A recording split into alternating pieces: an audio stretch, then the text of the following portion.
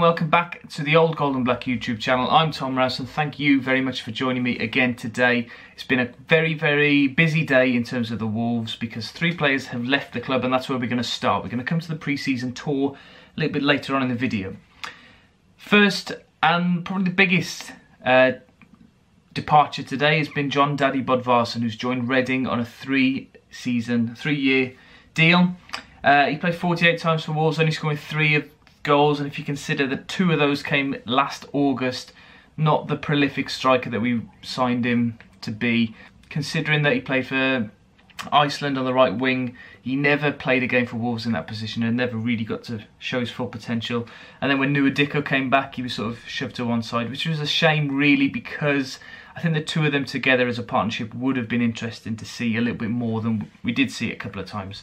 Um, but he did provide a great post-match ritual, which of course we'll miss. Ethan Ebanks Landell has joined MK Dons on a season-long loan, which is um, a deal that I would have preferred him to have stayed with Sheffield United and been challenged a little bit more in the Championship. But of course, they've just signed Richard Stearman, and another defender has left the club, again on a season-long loan, and that's Dominic Iorfa.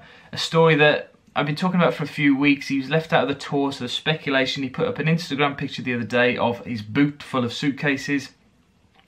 And he's left to go to Ipswich on loan for the season. He's talked about uh, how Mick McCarthy persuaded him to come to the club, uh, saying that he can offer him various positions across the back four, and that he can offer him, you know, uh, fast right winger if they want to play with 3-5-2 or if they or a solid centre back if they want to play with 4-4-2.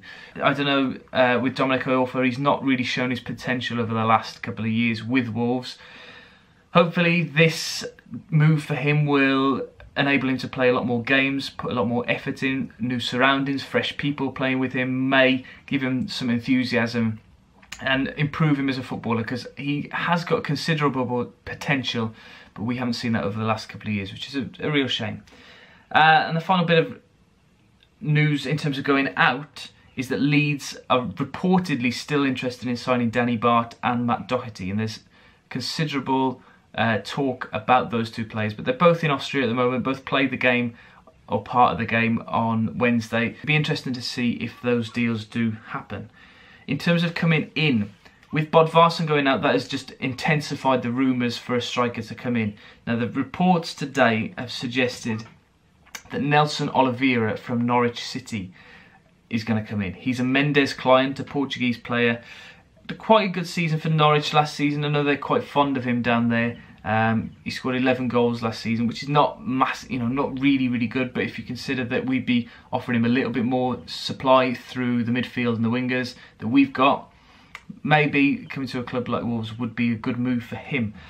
Now, there have been con contradicting reports on Twitter and on various media outlets this afternoon to suggest whether or not the deal is going through. William Hill tweeted, I'm not sure whether this is true or it's been photoshopped, but William Hill apparently have stopped taking bets on him because they believe that the deal is done. But then other official media outlets have said that there is no deal on the table at the moment. So that'll be interesting to see I'm recording this at past five. There have been so many deals that have gone through today. Possibly this is another one. Uh, and this video will be too late for it, but we'll see. Come to pre-season. I was not able to watch the game on Wednesday because of working. Um, but I've seen lots of the highlights and a few of the clips and we seem to be playing quite attractive and good football. So it is a great result to beat a team like Werder Bremen, who are, you know, a first division team, top half of the table most times. Uh, so that was good. Uh, it was interesting to see the formation, playing a 3-4-3 with Douglas and I believe Doherty started the game at right back, getting up and down, enjoying that, that midfield and bolstering that. Uh, so that was quite good to see. Interesting as well to see Conor Coady playing at centre back. Apparently he was very, very vocal, which was emphasised in, in, an empty uh, stadium. And that's what we've lacked uh, over the last year or so at the back. We've lacked a leader. We had it when Mike Williamson played, but Danny Batth isn't really a vocal captain or vocal defender, so possibly that could be a role that Coady plays quite a lot this season as well. Reports suggested that uh, Jack Price played quite well as well in the centre of midfield. We only saw a little cameo from Neves at the end, but Tim Spiers, talking about his performance said that some of the passes were amazing from him. The way that he whipped the ball in quite low and fast, which was impossible to defend against. If we can have that in the championship, that'd be great as well. Another note: uh, the Barry Douglas, of course, playing and didn't really have a lot of opportunities to show off his left foot. From what I've seen, a particular corner that came in that Willy Boly should have scored from, the way that he whipped it in was incredible. And if we can make use of that dead ball situation a lot more than we have done over the last few years, we could be seeing something dangerous. And a little bit of injury news to end on, I'm afraid. Uh, ben Marshall is now out for three months with a thigh injury, so that right wing that looked so strong a couple of weeks ago has now lost another member because Costa, Helder Costa, had a operation, a quite successful operation by the sound of it, and the length of time that he's expected to be out has decreased from three months down to between six and ten weeks. So let's hope it's the six weeks rather than ten, and he'll be back then by the end of September, ready, fully fit then after the, international break in October perhaps. Uh, so thank you very much for watching this video. Sorry there hasn't been much this week, but there will be in the coming weeks, so make sure you like and subscribe. Thank you to everybody who has been liking subscribing. Check out the links in the description down below about giving blood and helping to cure leukemia by signing up for the bone marrow register. If you've been following the Wolves Twitter account as well, you'd have seen lots and lots of uh, support for CAR leukemia, so let's show it in our own way by signing up and giving blood and sign up for the bone marrow register. Thank you very much. I'll see you next time. Bye-bye.